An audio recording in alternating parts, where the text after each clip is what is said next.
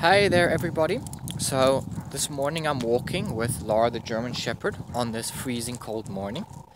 So I just want to show you um, more about the structured walk and why it's so important to take your dog on structured walks, especially if you are looking to um, train your dog to be more calm and more collective and more controllable.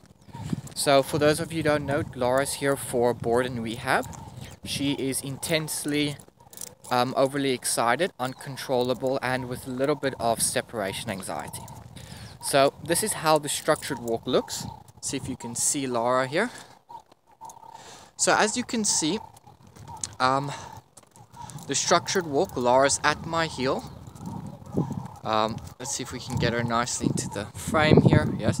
So Lara's at my heel. She's not allowed to look or scan for other dogs not allowed to stop on the walks to uh, mark a tree or to potty. Um, she's not allowed to be barking and whining at other people, dogs, etc. She must basically just maintain this heel position um, and not break it. So that's all she must do, just follow.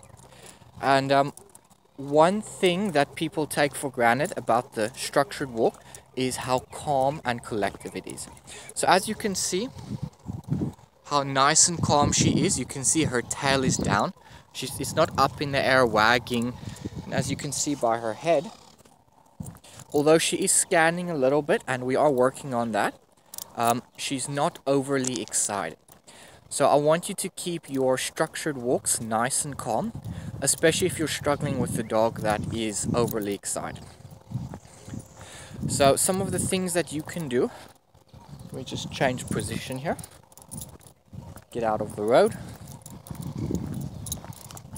Some of the things you can do to maintain that calm state of mind on a walk and make sure your dog does not go bat crazy is, um, for example, when you stop, the dog must do a default sit. So this is how that looks. Let's see if we can get Lara here.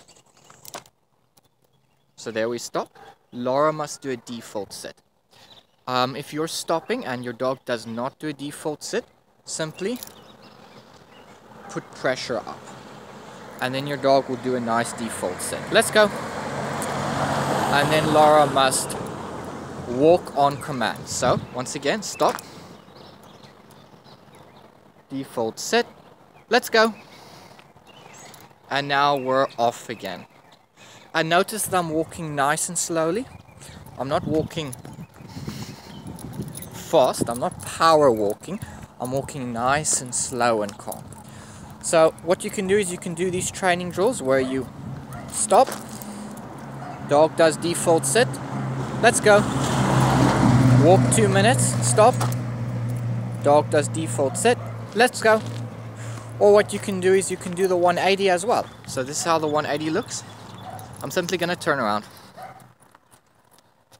And now she's back, as you can see there. So there are some things that you can do to get your dog nice and calm on the walks, but make sure the most important thing is that you're walking nice and slow. So don't go and power walk. So thank you so much for watching. I hope to hear some more emails from you guys about your progress with your dogs. It's always nice to get those emails. And um, yeah, if you're interested in Lara's story or if you have a dog that is just as excited and out of control as she is, follow her story on my Facebook page and learn the, the steps we take and the things we do to rehab these dogs and train them to be nice and calm. Thanks for watching. I'll see you guys again soon.